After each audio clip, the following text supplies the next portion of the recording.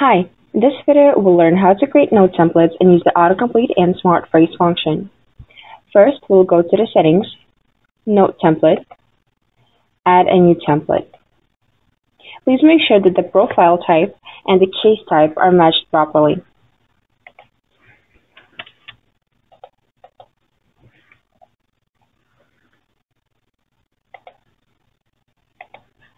Once you save the note template, then we'll go ahead and go into the template to alter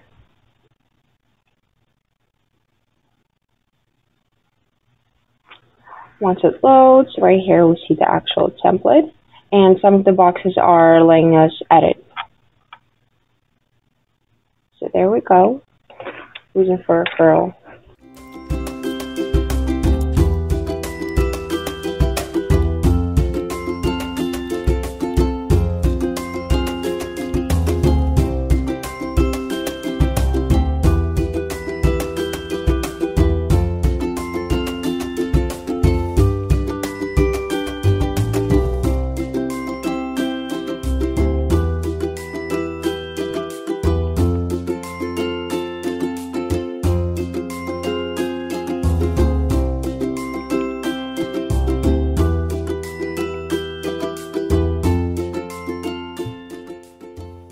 Once our template is saved, then we'll go ahead and go to the patient's case.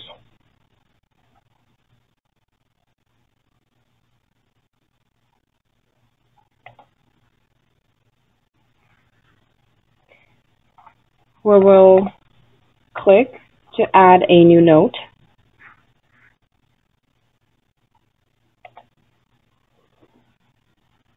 And here we'll be able to see all the templates that are matched. So this is our most recent one.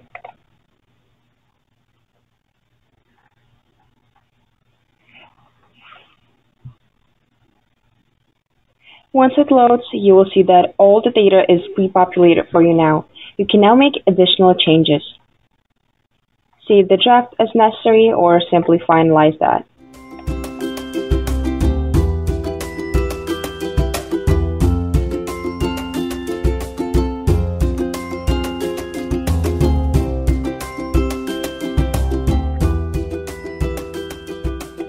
Now let's go ahead and check out the autocomplete.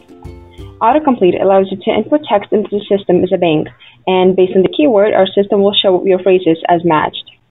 So in order to do this, we'll go to Settings, Autocomplete,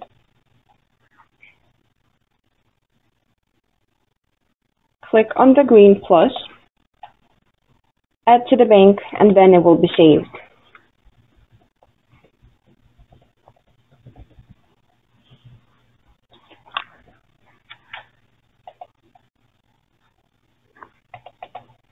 Inside the notes, this works in all note types.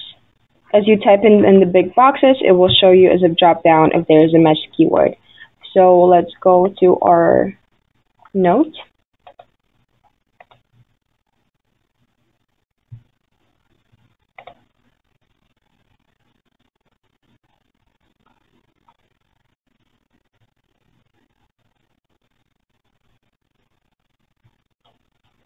So let's say we didn't put this here, and we'll actually start typing this. There we go. There we see our autocomplete.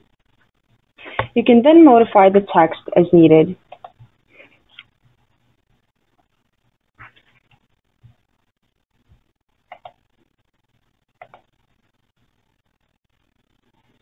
And this is it. Thanks for watching.